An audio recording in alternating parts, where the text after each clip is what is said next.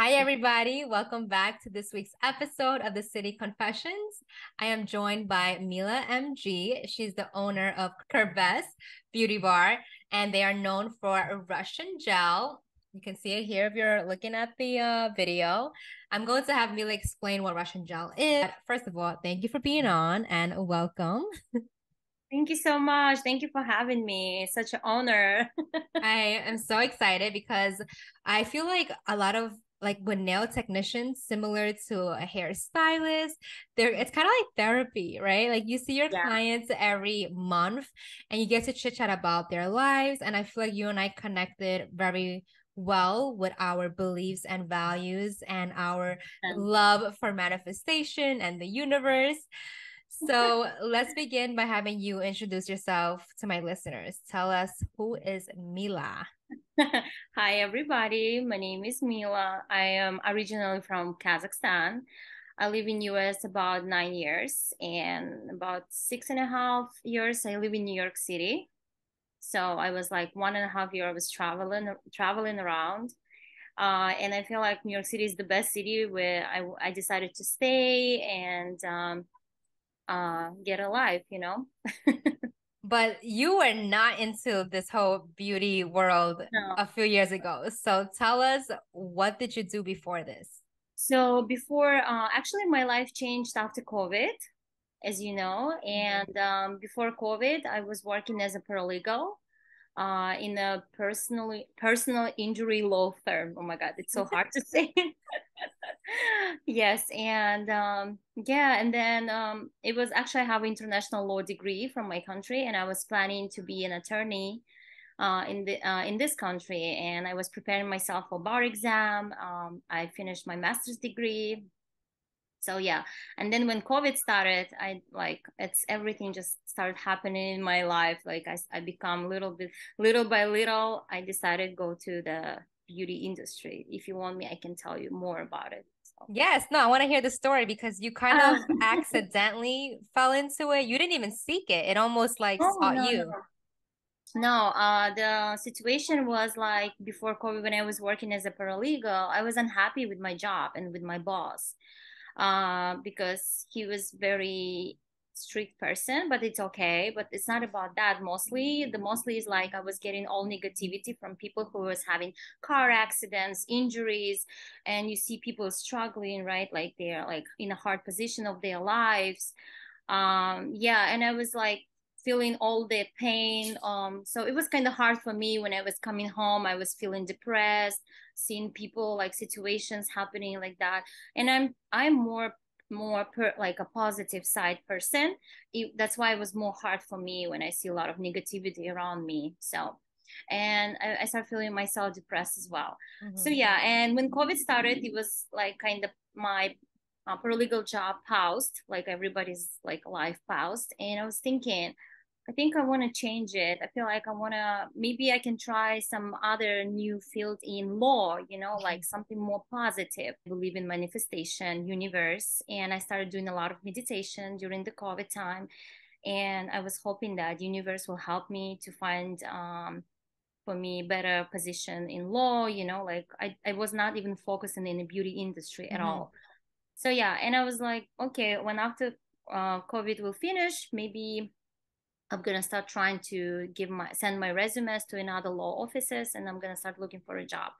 So also, I was I was my question for universe was please help me to find something positive that um, brings me joy and happiness um, that led me to meet nice people. So I want to only have positive vibes around me, you know. I want to enjoy every day my job, like so I will be more happier. And suddenly, my friend in May or in June 2020, she's like, Hey, I'm gonna do, uh, I'm gonna go for Russian nail school and I would love to have you as a hand model. And do you mind to be my hand model? And I was like, Yeah, why not? I look at my nails, they were so horrible during three months at home. and I, I always have a, I, I always had a nice nails and manicure because I love to take care of myself. Uh, and by the way, that time I already did for myself Russian nails in Brooklyn, as you know, there are a mm-hmm. lot of Russian nail salons. So, and I was like, yeah, let me go. So I went with her and um, while she was cutting all my fingers and I was bleeding, I was like, okay. and I started like, it started kind of bothering me. And I was telling my friend, if I'm not your friend, I will be leaving you mm-hmm. already, you know? Mm-hmm. And she's like, thank you for sitting and just like uh, be so patient with passions, patience. Patient, with, yeah. Um, so and i was like okay. And then i was start and i started listening to the teacher. Mm-hmm. and i was like look she's telling you do this do that. Can you do this? This is not the way you are doing here. And she's like stop commenting. I know better blah blah blah. I'm like yes i understand she's learning. It's her time. I need to be quiet. And the teacher was like I feel like uh, this hand model is more loud than any anyone's hand model. She's too active, you know. Mm-hmm. so she noticed me, uh, which I really appreciate because because of that she came to me and she said, "I feel like you understand very clear what I'm saying. Like maybe you are interested to do the nails as well." And I said, which was interesting. I said, um, "Me and nails, never. You know, mm-hmm. never say never." mm-hmm. And look at you now. yeah, I look at me now, right? And i was like no no. And at the end of the class class was almost like eight to ten hours. Oh wow. Yeah because you know they teach you mm-hmm. a lot of details. Mm-hmm. um so and she was like maybe you should try. What are you losing? You're not are you working right now? I'm like no i'm still sitting at home getting my unemployment benefits nothing to do.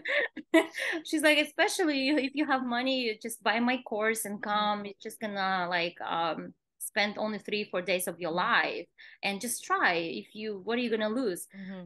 and i also this is my this i think this has triggered me a lot because my position i always like to try new things mm.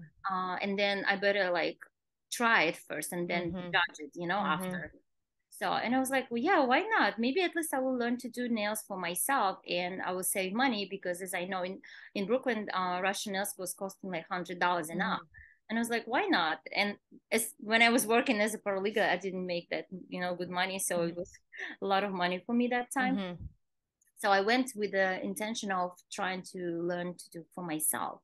So and after like two months, maybe later, I went to the class. I started learning, and it's interesting that I really like it. On the second day, I was like, wow, this is so much fun, you know and even my model who was she was actually telling me if you have a law degree why are you learning this like she mm-hmm. kind of was like why why do you need this i think universe was kind of spoken through this person to me you know mm. you mm. sure you want to do this you know like i love that yeah yes. yeah because because you know, yeah no not to cut you off but your story is so inspiring i feel like that is so true like there are opportunities where the universe challenges you and just make yeah. sure it's like are you ready because it's yeah. just like relationships right? You can say like i don't want to be in this relationship anymore. I want to be with somebody healthy or like eh, you know non-toxic.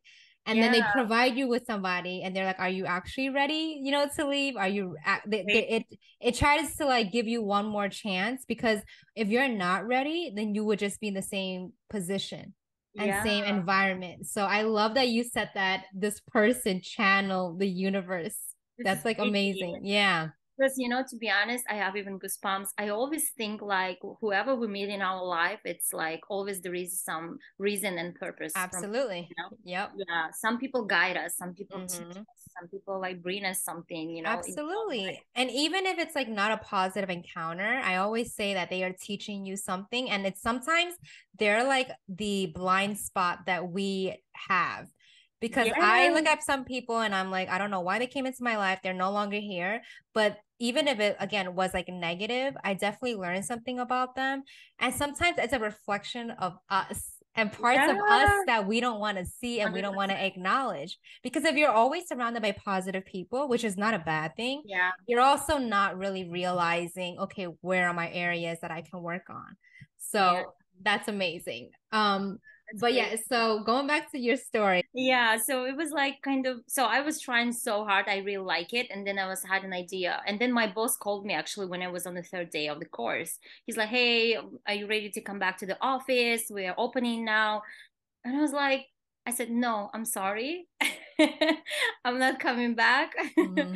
and I was thinking, you know, I felt like kind of a negative vibe from that mm. uh, place, and I was like, no, I'm not coming back, and I'm happy where I am right now, and I want to give a try. And I decided to give myself time one year just to, um, you know, like not Love focus that. on the law, just uh, decide to do nails only, you know, and just chill, you know so and my teacher actually provided me with a job. She's like i feel like she had that time 10 students and she's like i mm-hmm. think you're very talented. I see potential in you. You need to try this salon. You need to go and uh try. So i was mm-hmm. like okay i will try so I went to the salon, I started practicing.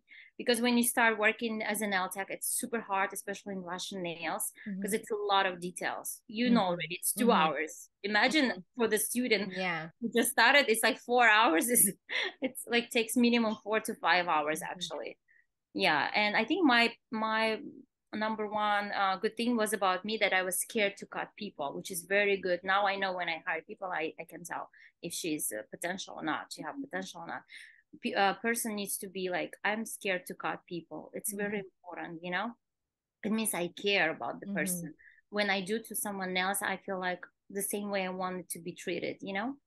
Yeah so it's interesting yeah so i was working for the salon maybe two weeks. It was my first place in brooklyn.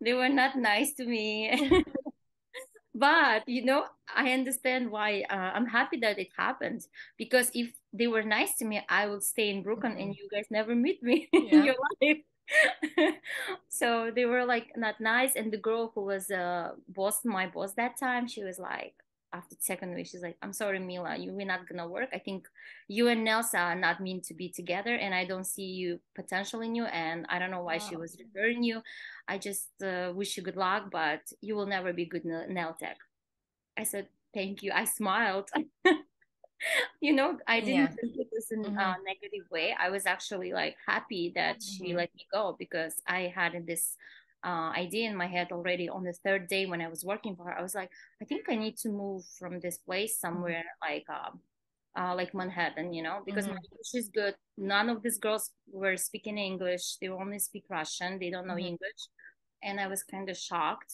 um, why people doesn't speak English if we live in New York City. Mm-hmm. But it's okay too, you know. They have their own level. Uh, it's good for them but my um so when she fired me i was so happy and i actually appreciate her that she fired me and and next day i found a job in manhattan so i was start working for another salon in manhattan mm-hmm. and that salon i really appreciate her too because she believed in me and she saw that i have a big potential and it's interesting also i was the only one who was speaking in english in her salon mm-hmm. even she didn't speak english anyway it was fun so I grow in six months, I become top nail tech.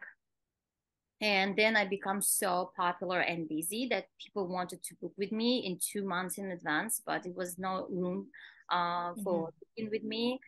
And uh, and my clients start telling me, Mila, I don't want to lose you. I want to come to you only. Why don't you start your own business? And I was like, I don't know. I feel like I don't want to leave my boss because mm-hmm. I was so comfortable on mm. that space, you know and she really doesn't want me to leave too because she i was number one at her mm-hmm. salon?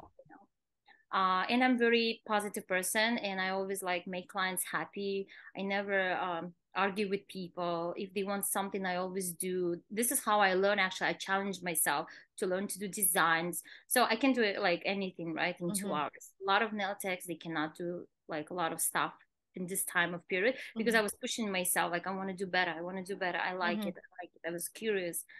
So and yeah, and then I was like, okay, I think it's time to move on. And I was like, also universe. I was asking universe, should I move on or not, or should I stay? And then uh, my clients started like, no, Mila, you have to because I, I cannot book with you anymore. A lot of clients started like losing me because I was overbooked with other people. And I was like, okay, let me try. So I quit the job. I tell her like I think two months notice. And of course she was upset, but what can I do? We need mm-hmm. to put ourselves um, out of comfort zone to to grow, you know? Um yes. yeah. Yeah, I know. And then I was like, Maria, and I was like, okay, where I'm gonna go now? I don't know anything. Where to rent the space? Where to do? Like, uh, and I was like, okay, I trust the universe. If it's meant to be, I'm, uh, everything will come to my life. If not, uh, just take a break for two, three months, and I'm just gonna start preparing myself for bar exam because I mm-hmm. remember I gave myself one year, and that was exactly the year where I have to decide last year. So, and then I was, um, my friend contacted me uh, after like two weeks. She's like, let's meet for a drink. I didn't see you for a long time. We decided to meet up. And then she said, what's going on in your life? I told her I quit the job and now I feel like I'm gonna start my own thing, but I don't know where to go, what to do, how does it work? I have no idea. Mm-hmm. And she's like, she's like, you know what? I feel like whatever you do, you you just need to start, and I feel like you're gonna be successful because you have uh, all the qualities that needs to be, and a good uh, person, nail tech. And she's like, don't even worry and I was like, okay. And then she said, by the way, you know, I know someone who is willing to give you space for rent. She was actually looking for a girl already for a few months, but she couldn't mm-hmm. find anyone. And I was like, wow, this is the sign, you know? Mm-hmm. And I texted this girl, this, uh, so I went to her and she gave me this space. And i was like okay i like it. And it was just a tiny space. All my original clients who comes to me from last year they they know this space. Mm-hmm. and i was like i was so happy marianne because i was like okay this is my place. This is my start point you know and i was like okay what what should i do now should i prepare myself for law or should i continue this i said okay let's do it at the same time why not you know mm-hmm. and when i started only like i had five peoples five people that I know, who was like three of them my friends and two of them only my previous clients. Mm-hmm. I didn't take any clients from other salon. I feel bad because it's not nice, you know. But only two of them knew my uh, phone number and they're like, "No, we would like to come and support you." I was like, "Okay, that's so nice of you if you want to come." So I had only five clients and they started coming to me. They came first week. It was like so empty. I was like, okay, not bad, not bad. I started doing my Instagram. Uh, and one of them actually, uh, such a sweet girl. Uh, she's still my client. I love her so much.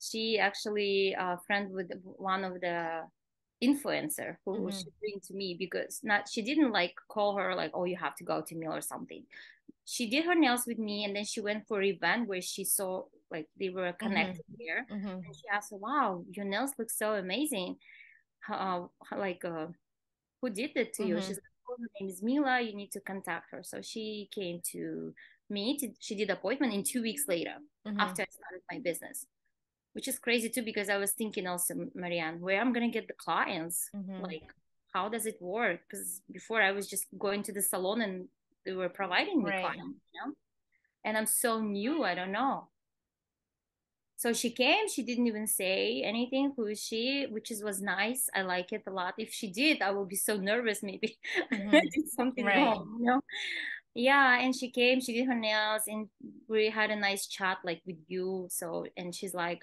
she was also inspired by my story because she told me like for like five or six years ago that time she also used to work for finance and she quit her mm-hmm. job and she's become doing her blog now mm-hmm. she's successful. I was like, wow, we have very this similar mindset, you know? And I really like it. By the way, I feel like all my clients actually I was just gonna say like me, you know? Yeah. You attract the, like a certain energy. Yeah. And so I feel like you you whatever you put out there is what you get back. Yeah, that's crazy. Mm-hmm. And so I was so happy to have this convers- conversation with her. It was very fun. So and then she left and um and then she just tagged me on instagram and i, I was like okay i only have like i don't know 200 200 people some random mm-hmm. people who follow yeah. me and when she left it just just my phone was like blowing you know i was shocked and everything starts from there No, I love your story and you answered so many questions because I was going to ask, you know, like what was the hardest part about all of this? Whenever I hear you speak, you keep talking about like positivity, right? Oh, yeah. So, where does that positive mindset comes from? Like w- were you always like this as a child growing up or did you tell yourself, "No, I'm going to choose to be positive." How did you develop this mindset? Uh, it's a very good question. Uh, I think I feel I consider myself happy child because mm-hmm. I have mother and father. I'm healthy. My parents healthy. I'm happy. I have sister. You know, like this is already happy for me. You know, I feel happy. Um, and yeah, and my mom and dad actually, when I was a kid, they read a lot of uh, books about manifestation. Mm. They were mm. doing even a vision board. Oh wow! yeah, yeah and it's interesting because my first vision board was 11 or 12 years old when i was yeah I did with my parents. Oh my god! Yeah, it's crazy. That's cute. Actually, yeah. Yes, and it came true. And I remember my mom even was telling me, when you wish, you have to wish it as a present time. And my dad too. So I was like kind of influenced by my parents, mm-hmm. right? This, uh, and but 11, 12 years old, I was not like um, uh, how to say um, I was doing a vision board, but I didn't think about life seriously. I was just putting like, oh, I want a Barbie, I wanted this, I want just shoes, I want bags, you know. Mm-hmm. But then I don't know why, when I was 16, 15, uh, when I was entering to the college, to the university, uh, I went very young because I was super smart at school and I was skipping two classes. Um, I did vision board, and it's crazy because um, I didn't even think about USA at that time, you know. Mm-hmm. But I mm-hmm. don't know why I saw in magazine Statue of Liberty and I just put it on my vision board. and I said, I'm living in this city and I uh, like next to Statue of Liberty. I don't know why.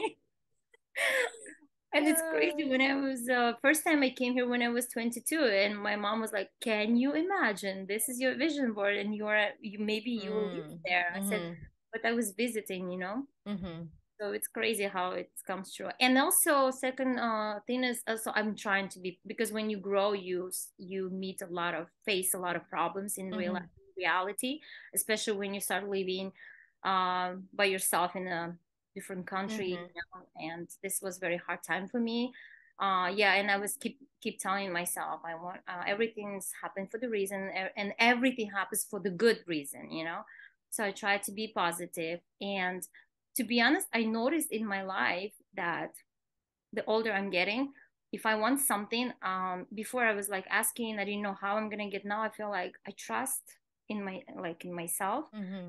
I trust like I want something. I just see it in my like I feel it that it's in my life already, and I just forget about it. Just let it go. And after a while, like maybe sometimes it can happen one month, sometimes it can happen in one year, but it's happening in your life, you know I have a goosebumps because it's crazy how it works. Like, I don't know. And my last vision board, by the way, I did on 2020. And I said, whatever I do, and I put like success, I'll be going up only and I'll be like meeting new people. And mm-hmm. whatever I do, it's going to be very beautiful, very nice, and successful. And I feel like it's going this way.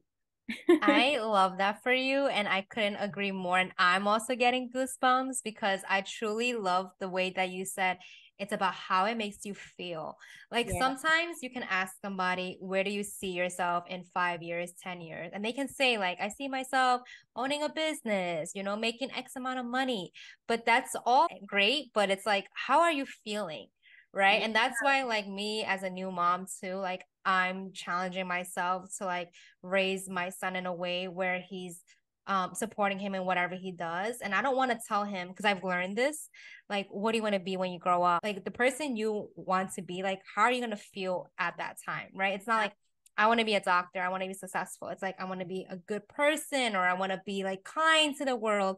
So it's just amazing that you're not focusing on these labels. No, no, no. I always like, I want to feel like inside like happiness exactly. joy you know like yeah because i feel like when you do whatever you love it just it makes you like for example right now i am at the stage of life where i wake up every morning and i always say oh my god thank you god that i have the job that i love mm-hmm. i want to go my, to my job you know even like oh i'm gonna see this client this client mm-hmm. oh my mm-hmm. god i miss this client you know like this person not even client even this person oh my god i want to hear her story here like it's crazy how it works gratitude truly truly truly will change your life like i feel like it's all about perspective and again it's like energy like when you verbally say what you're thankful for something happens in your body right right where you automatically whether you're having a bad day or something goes wrong it just shifts so it's like it's, it's, amazing. I can go on and on about this. I know, me too. I okay.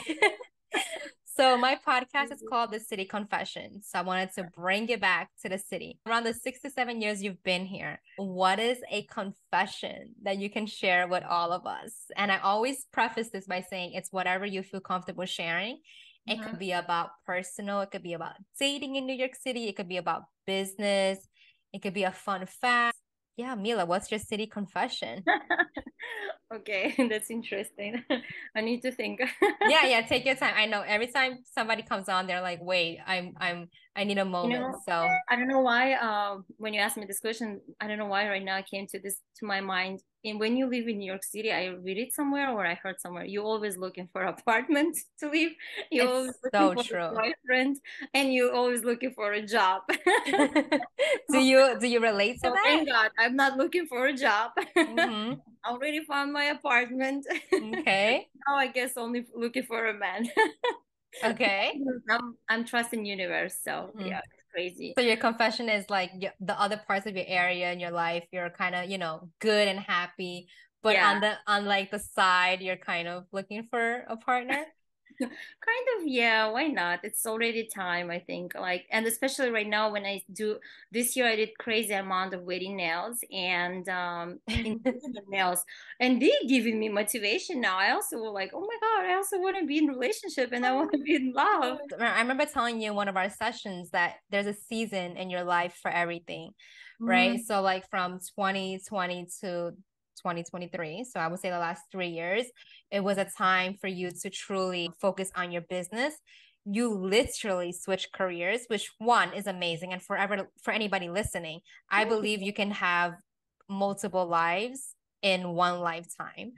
Um, and two, when your business, I'm not saying slows down, not at all, but when it when it starts to just just you know run the engine yeah. just starts running without you even attending to it then you can also be like, okay, this is a time for me to introduce love. But like you said, your belief in the universe will just allow you to be who you are. And when it comes, it comes. So yeah, actually, a lot of my clients gave me uh, advice. Thank you so much, by the way. they told me I need to take a notebook and write down all the qualities in men I want, mm-hmm. which I never ever did in Feel it yeah and which yeah. is crazy i'm like I, I believe in manifestation i manifested so many things in my life but never good men you know mm-hmm. so and i did it like a few days ago actually and i think i'm gonna add more some mm-hmm. more qualities because it's very as hard. you should yeah as you should because let me yeah. tell you the person you decide to be with is the most important decision you'll ever make in your life yeah especially if you want to like have a family and all that like who you are now is one thing, but who you choose to, you know, be with and marry and all that literally is the deciding factor and vehicle for like the the X amount of years, you know, that yeah. you have on this earth afterwards. So I feel like people forget that. yeah, that's true. But thank you so much for reminding me. yes. Okay, so we are wrapping up. So I have a fire round of New York City questions to ask, and you can answer it with the first word or thing that comes to your mind. Okay, interesting. Okay. So what's your favorite thing about New York City? Food. Okay. What's your least favorite thing? Mm, uh, trash. what's your um go-to spot or like your favorite cafe, restaurant? Bars, speakeasy bars. Always. Do you have but do you have a specific one or um I can't remember right now, but I have like few, but okay. it's on my Google. Yes, you'll you'll add some on the show notes and people okay. can can look at it. To describe New York City in one word, what would it be? Oh my god, magnificent. And if you can thank New York City for one thing, what would it be? oh my god, sky sky uh buildings, how it's called? Yeah, skyscrapers. Yeah, skyscrapers. oh, I love that. Nobody has ever said that. Mm-hmm. Well, Mila, our time is, you know, cutting short, but I want to thank you so much for being on. I know you were super nervous, but you were amazing. I feel like you're a natural storyteller. Even though I've already heard your story, I still feel inspired, and that's what I love. Like after this, I want to do things, you know, out of my comfort zone. So thank you. thank you so much, Marianne, for having me. It's such an honor to be on your podcast. Oh my God, I'm so excited. yes. And for those listening or watching, I'm going to have all of Mila's information in the show notes. And if you haven't tried Russian gel, again, this is amazing. It's been like five weeks. You have to. Again, thank you, everybody. Stay tuned for next week's episode, and I'll talk to you later. Bye. Bye.